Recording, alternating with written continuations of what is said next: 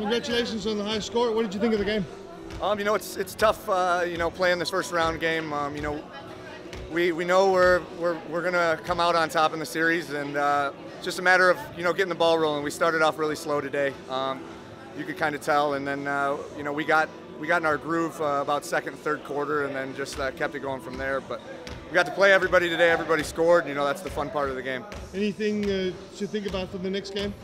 Um, I believe we play Svendborg, and uh, you know they're a tough team and they're playing well right now. So we really got to get on our game. We got a week and a half to get ready for them, and uh, you know I think uh, we can do some damage again in the second round. And uh, you know if, if, we're playing at the top of our game, I don't think uh, we'll, we'll, be able to be stopped. I know it's a lot to think about during the game, especially after it. But do you have a favorite play from this game? Um, it probably would have had to be my offensive rebound. Uh, I kind of had a little pass behind the back of my head without looking to Christian, and uh, he ended up dunking it. And you know I'm not usually about the flashy stuff, but uh, you know, got to get the crowd into the game too, and uh, especially when we're up big like that. But you know, that was that was fun, and uh, you know, it got everybody going. Hey, if it works, it works. Exactly. Congratulations. Thanks Thank a lot. You. Thank you.